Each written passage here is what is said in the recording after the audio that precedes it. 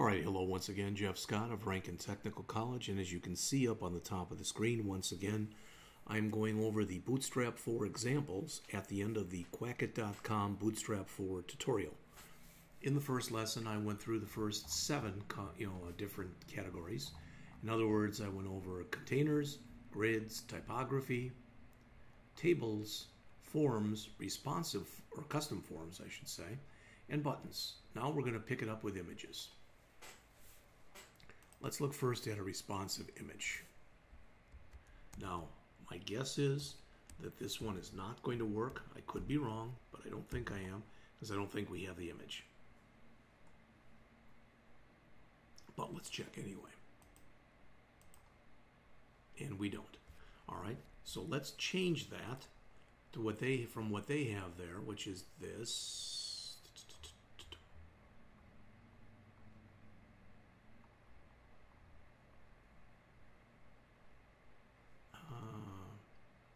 is.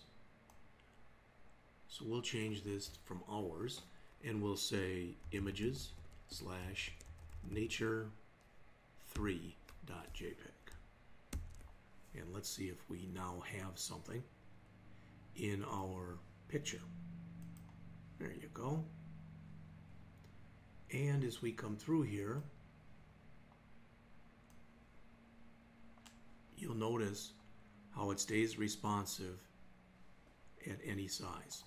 The magic that makes that happen is the fact that what we're doing in here is we're saying class equals image fluid. Notice if I take that out. All right, so that's all I've done here is I've taken out that. Still looks the same here, but notice what notice it's not it hasn't expanded. It's just got its default size and it's not at all responsive. Go back and add it in.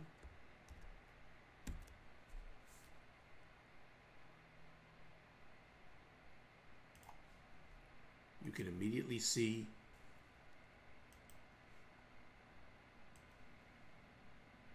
how it becomes responsive.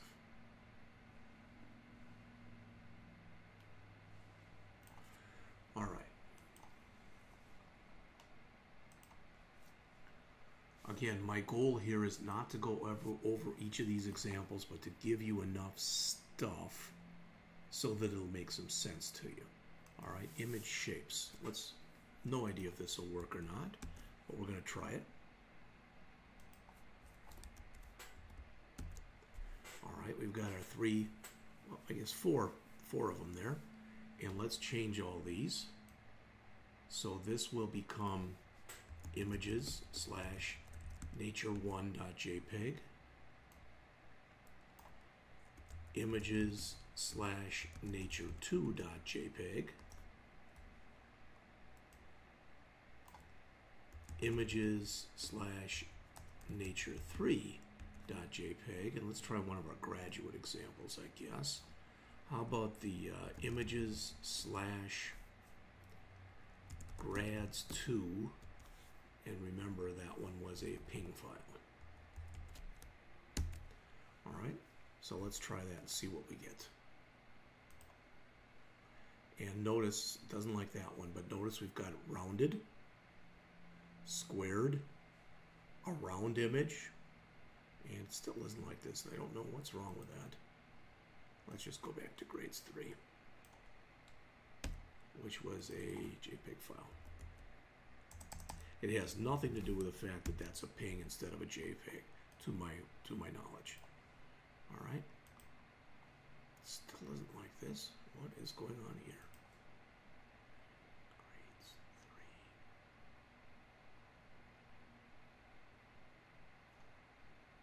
Huh. Well, let's just go back to the reproduce one of the nature ones. Nature 2.jpg. See if that fixes it. Okay. So you get dramatically different effects. In fact, I want to do this. Maybe this is a dumb idea, but we'll see.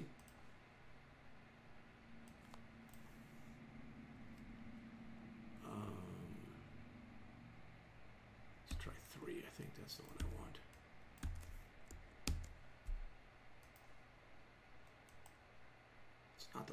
but let's let's change that to one. And I know now if it's not one, it's number two.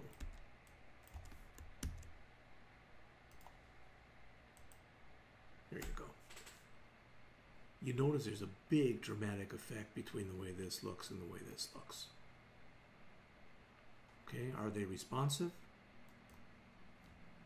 You notice that sooner or later, it's as responsive as it can be here, and it goes down to one column. Do we have an image responsive in here? Class equal rounded.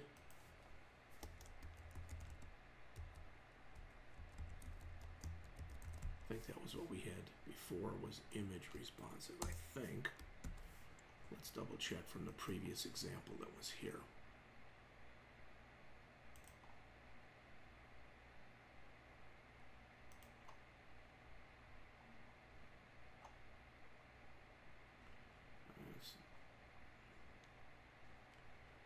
Fluid.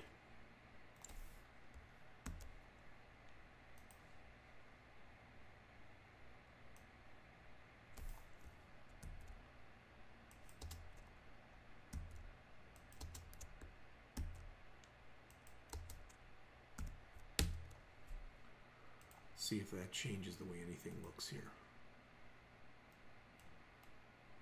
Okay, there you go.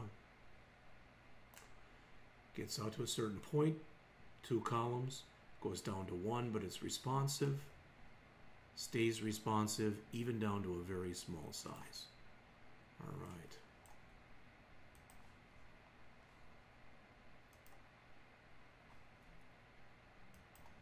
That's enough with images. Let's look at drop downs.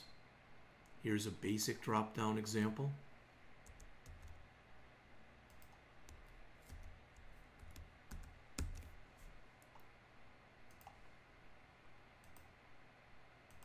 There you go. The next one, they have a drop up instead of drop down. Again, that will all be predicated by where you are on the page when you're doing this, so I'm not going to go through that.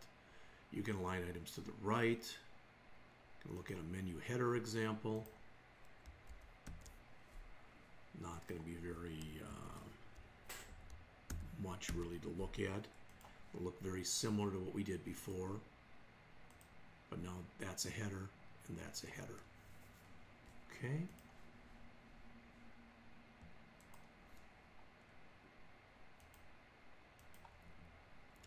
Button groups, again, as mentioned, you can have a horizontal or a vertical and you can play with the size. Let's just do the horizontal and let's do the vertical.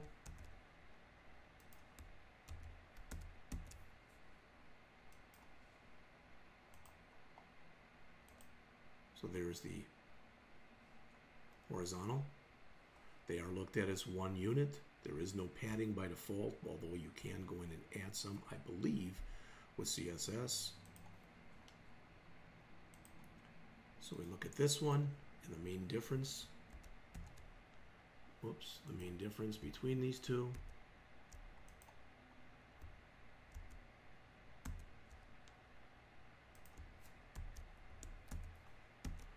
is that when we look in here, we've got button group vertical, whereas last time it was button group horizontal. We'll double check that in a minute.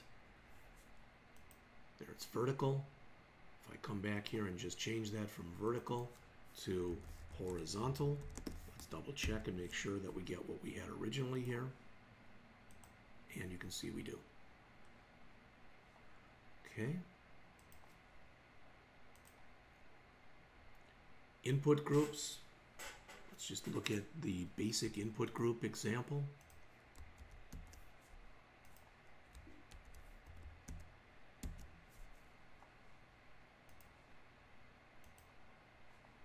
Okay, I there was a dollar sign over there, but it really and truly does not matter.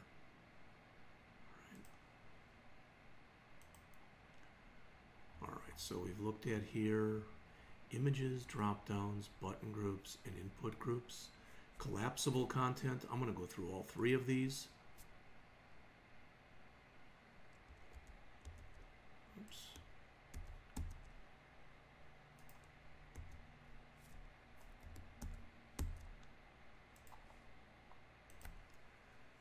This is where we had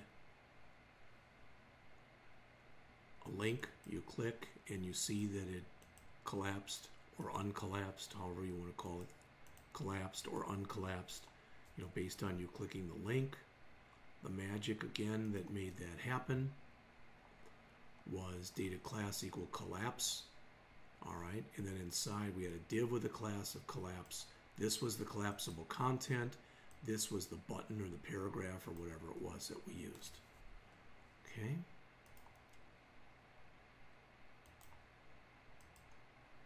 This one again used a button instead. We can we can show that one. The first one was a hyperlink. The second one is basically the same, but instead of an anchor that we have here, we now have a button. Okay.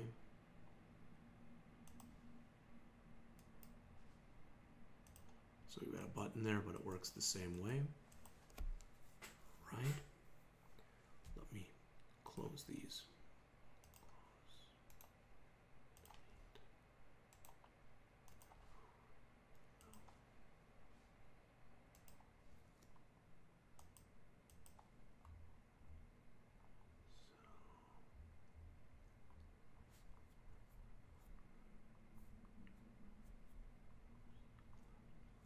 Finally, let's look at the accordion example that's here.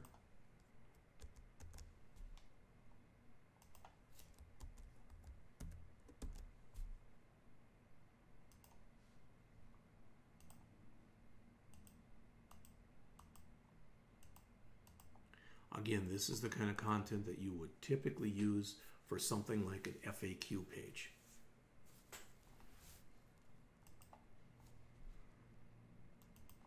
All right, let's look at navs, and then we'll jump up to nav bars, I believe it is. Is it? Yep. So we'll do those, and then that will end this second round.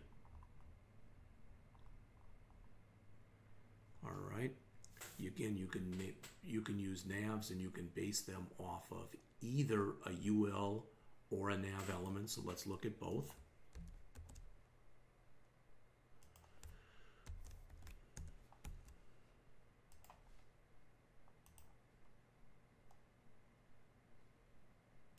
Right? So that's an unordered list, so you know they're not. Okay. Um, and the magic, you see class equal nav, and each individual one has a nav item. We also have one that's the active class, which is our first one. So you probably, you may not have noticed. Okay, nothing magical is happening on any of these. They're not linked to anything. If we look at the based on the nav element,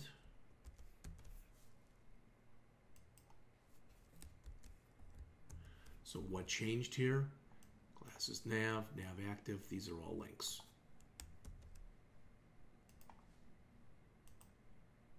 Doesn't look any different, doesn't go anywhere. Okay.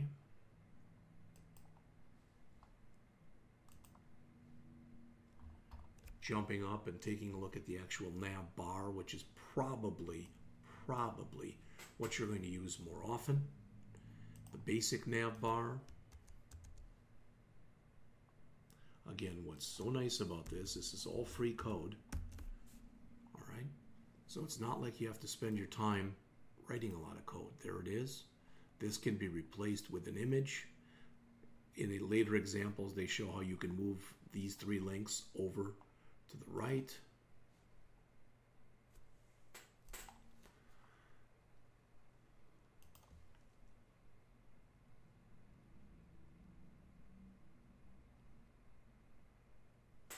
Let's show the fixed nav bar. So when you fix it at the top,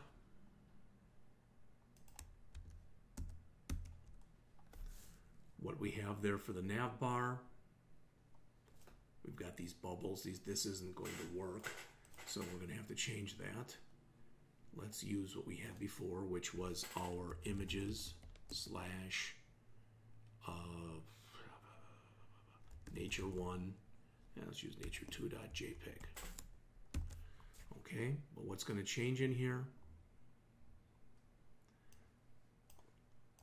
nav bar, nav bar fixed top. Okay? So you'll notice there's our nav bar. This is just tiling, so don't worry about that. But notice how the nav bar is not moving. It is literally fixed on the top. All right, if we look at the next example,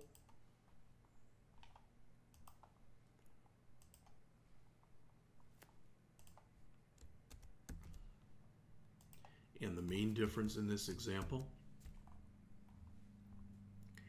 is instead of saying fixed top, we're saying fixed bottom. Let's use a different one here. So we'll go to images slash nature3.jpg.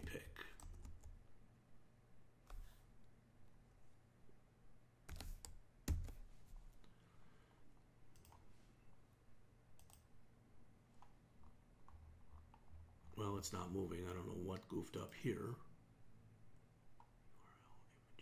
Oops. That's what goofed up there.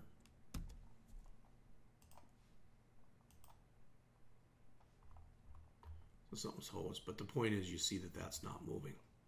Okay? Let's go back. I want to make that work.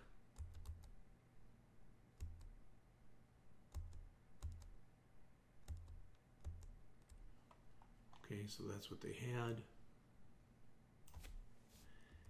Images slash, we'll do one of the grad ones. How about uh, grads3.jpg?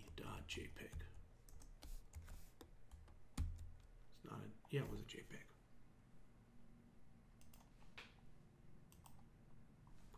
Well, something is host and I don't know what it is. Weren't pings.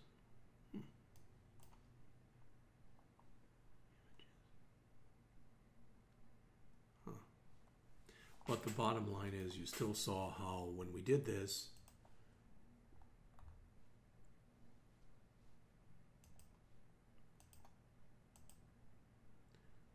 of course I've removed it now, I guess it's over here. That even as we moved up and down here, this stayed fixed to the bottom. Okay, I think that's about enough for this particular set of examples. So when we come back, I'll pick it up again. Uh, let's do responsive navbar. Okay.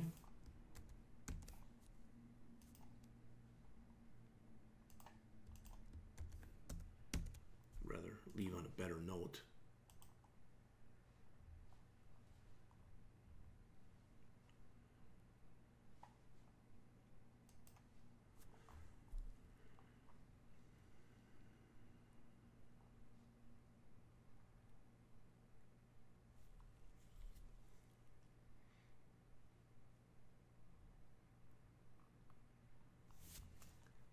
Does their example look like? Just the same as mine right there. But I think the key might be in when we try to change the size here.